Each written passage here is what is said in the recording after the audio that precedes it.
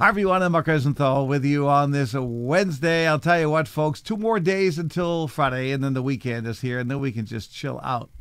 You want an early start? How about a little karaoke fun tonight at Chopper's Cafe with the one and only Joanna Jethro Mills in Waltham? The fun there starts at 9 o'clock. And tomorrow night, of course, Joanna Jethro Mills there at Ray's New Garden Restaurant in Needham starting at 8.30. So come on out and sing. All right, let's check out the weather headline. Here we go. We're off to a mild start today, but temperatures are going to drop quickly in Boston, probably by early this afternoon once the wind turns northeast.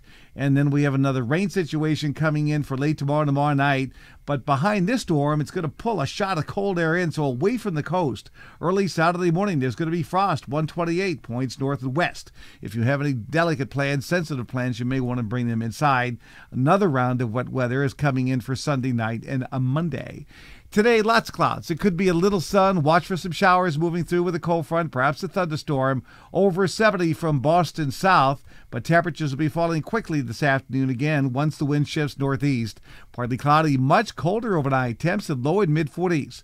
Here's your five day forecast. Starting with tomorrow, some sun in the morning. Clouds will thicken up during the afternoon. It's raining by dark and cool 56. Rain tomorrow night. The rain is done. Friday morning, followed by sun clouds, windy and cool 55.